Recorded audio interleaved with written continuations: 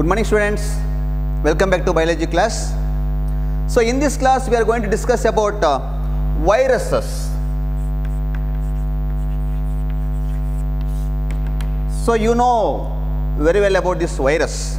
This is an apt situation uh, to know about virus because everywhere in the world the common name that is virus, virus, virus because of COVID-19. Okay, then what are viruses? Viruses are crystallizable non-cellular infectious agent. Crystallizable non-cellular infectious agent which are composed of biomolecules or biological molecules that can multiply inside the host. Okay that is called what? Uh, virus. So viruses are crystallizable.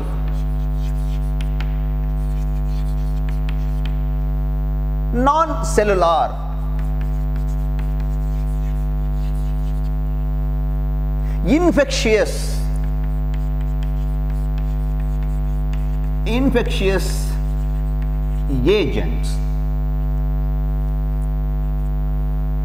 Composed of biological molecules. Composed of biological molecules that multiply inside the host that able to multiply inside the host. This is what uh, the definition of viruses. Okay. Then uh, you must know a brief history of virus virus means venom nothing but uh, poisonous fluid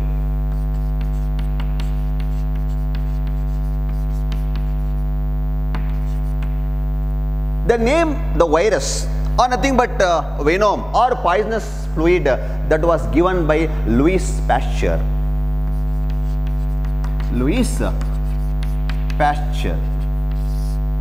They coined the term virus. Nothing but venom, nothing but poisonous fluid. Is it clear? Then DJ Ivanovsky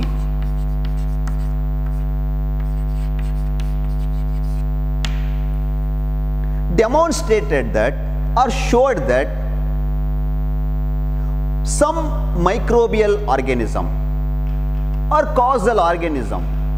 In the plants they cause a disease. In number of plants. That is called what? He called it as a mosaic disease. Mosaic disease caused by some microbes that are infectious. In the tobacco plant in tobacco plant that what we call as tobacco mosaic virus or mosaic disease. That are smaller than bacteria. Why? Because it can pass through bacterial proof filter. So that uh, viruses are uh, smaller than bacteria. Is it clear? So the Ivanovsky demonstrated that, showed that some microbial organism that causes mosaic disease in plants. That is in the year 1892. Is it clear? Later, M.W. Beijerinck, Beijerinck, in the year 1898, he showed that he demonstrated that uh, the extract of infected plant that what he called the fluid that can be able to cause the infection to the healthy plant. He called them as infectious living fluid. That is uh, he gave statement that is contagium contagium vivum fluidum contagium vivum fluidum means uh, infectious living agent. Why? Because that infected plants, you extract that fluid from infected plant, tobacco plant, that can cause disease or infection to healthy plant. Hence, he called that fluid as uh, infectious uh, living fluid, nothing but uh, contagium vivum fluidum. Is it clear? Next, another scientist that is uh, W.M. Stanley. W.M. Stanley showed that viruses are crystallizable.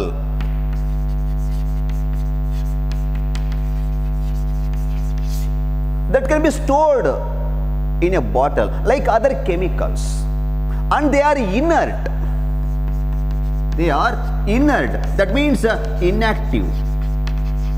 When outside the host. But the virus when enter into the host they are living. They multiply. They cause a disease. Hence they are called obligate parasite. Obligate parasite means uh, without host virus cannot survive. Virus cannot multiply. Because they are inert outside the host so in the year 1935 he first crystallized the virus. And that too he explained the virus uh, the major portion of virus that's made up of protein. Chemically it is a protein. And also it contains a, a nucleic acid like uh, RNA or DNA either RNA or DNA never both. Virus contain either RNA as a genetic material or DNA as genetic material never both. It is in a, the brief history of virus. Okay. Then come to the chemical nature of virus. Chemically virus is what? It is made up of the two important chemical substance. One is nucleic acid another one is protein hence viruses are chemically nucleoprotein. Nucleoprotein. The major portion of virus is made up of protein and they have genetic material either dna or rna so in a virus genetic material is in the center core that is surrounded by a protein coat that protein coat is called capsid. The protein coat which uh, surrounds the uh, nucleic acid. Nucleic acid in the center. Central core that is surrounded by protein. That protein coat is called capsid which consists of number of subunits. Number of subunits called capsomers is it clear? So virus chemically nuclear protein which contain a, a nucleic acid and protein. Protein is a, a covering the a nucleic acid. That is a coat that's called protein coat the protein coat is called capsid, which consists number of units, subunits. They're called capsomers. The nucleic acid is uh, either RNA or DNA, never both. Is it clear? In majority, the virus which infect plants, what do you call the uh, plant virus? Phytophage phytoplant phage means eater the plant virus plant virus which contain single stranded RNA single stranded RNA in majority of case the plant virus. That means the virus which infect plant are called plant virus. That's called phytophage which contain a single stranded RNA animal virus. Animal virus means uh, the virus which infect animals. Zoophage zoo means here animals. Phage means eater. That is called what? Uh, animal virus, which contain either a single stranded, SS, that a single stranded RNA or double stranded, I will write it as DS, double stranded RNA or DNA.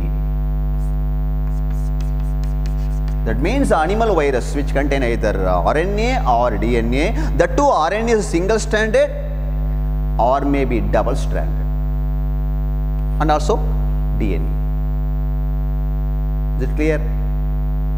So in this uh, virus, DNA is genetic material or RNA is genetic material that is infectious. Virus is made up of uh, uh, protein and uh, genetic material that is DNA or RNA. Genetic material acts as a what uh, a infectious agent that is infectious. Protein not infectious. When virus is enter into the host body, DNA or RNA, that means the genetic material infect the host cell and control the, the machinery of the host cell and kill the host cell. Okay, that is what uh, uh, chemical nature of virus. So I told that viruses are non-cellular, crystallizable, but infectious agent. When inside the host, they are active. When outside the host, they are inactive. That means uh, viruses are either living or non-living. The question arises, viruses are living or non-living? For this question, viruses are the connecting link between uh, non-living and living because they show two properties, two characteristics. One is the living character, another one is non-living character. That is the living properties or non-living properties. ಎರಡು property two properties are there for virus okay sir shall we discuss about what are the non living characters of virus what are the living characters of virus okay? Yes. First one is non-living characters. That means the viruses are non-living. Why we say viruses are non-living? Because of these characters. Non-living characters.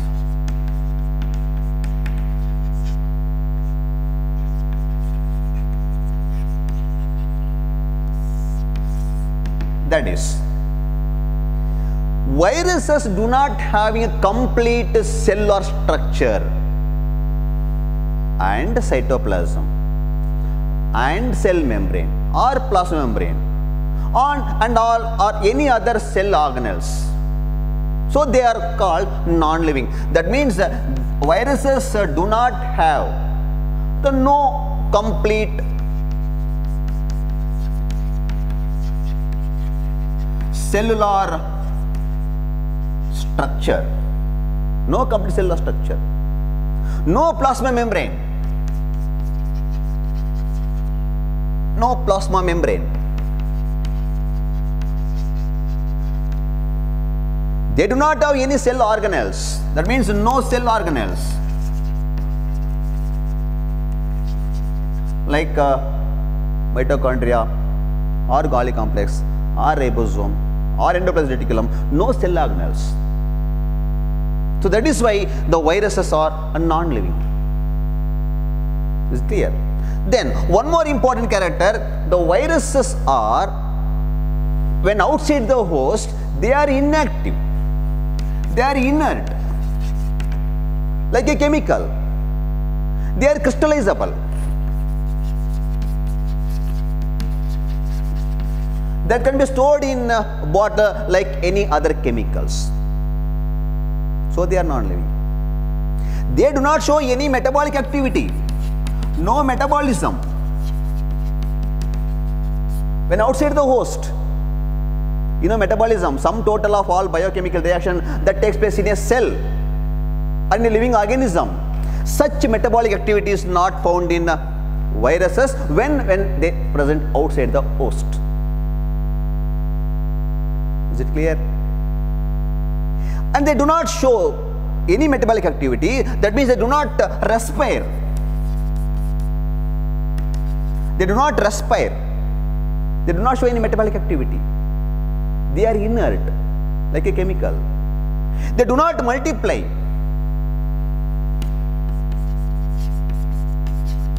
They do not multiply when outside the host.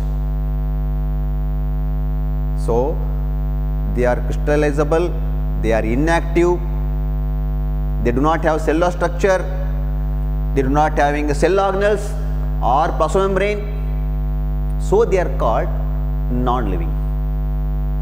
At the same time, the virus also shows living properties, living characteristics. That is, so what are the living characters of the virus?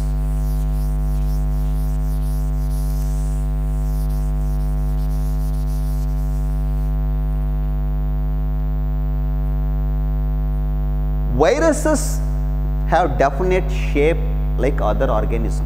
For example, uh, uh, bacteria, having definite shape. So based on the shape, the viruses are classified into four types. That is coccus, bacillus, Vibrium, then spirillum. Similarly, viruses have definite shape like other organism.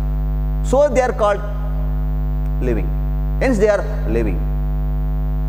At the same time, the viruses when uh, enter into the host, they cause a disease. That means uh, they are pathogen. They are pathogen that cause a disease like other organism, like other pathogen. For example, uh, a bacteria is a pathogen that cause a disease both in plants and animals. Similarly, virus also cause a disease in different plants and animals. Like fungus, like protozoans, they cause a disease. So they are pathogen. Pathogen means they are living. So they are living because they are pathogen and cause a disease. That cause a disease. So they are called living. At the same time, they show multiplication. When inside the host, they multiply.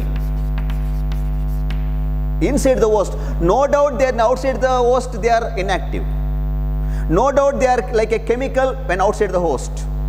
So that is why it is an obligate parasite. So here the pathogen means they are parasites. Parasite means these are the organism depends on other organism for food and nourishment. Similarly, virus also depends on other organism that is that represent what? That is living. Obligate parasite. Compulsory they need the parasite. They, they need a host for multiplication. They multiply inside the host. Inside the host. So you know that the any organism they multiply that indicates growth or multiplication nothing but reproduction. So growth and reproduction is a character of living organism. So virus multiply inside the host, so they are living. And they have genetic material. They have nucleic acid. Nucleic acid, that is very important. You know that uh, either RNA or DNA, never both. So in all the organism, nucleic acid are present, that is DNA and RNA. Virus also have DNA or RNA, so they are living. And they show the property of mutation. Property of mutation when inside the host. So viruses are living. They show metabolic activity, they multiply inside the host, they show mutation, they have definite shape. When it entered the host, it caused a disease like a pathogen. Hence, viruses are living. So when now we come to conclusion whether viruses are living or non-living. It is a connecting link between a living and non-living organism. Is it clear? This is about what uh, viruses.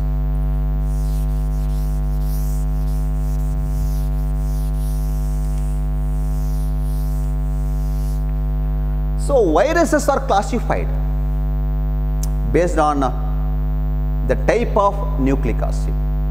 So you know that virus having nucleic acid either DNA or uh, RNA. Suppose the virus has RNA genetic material that is called RNA virus.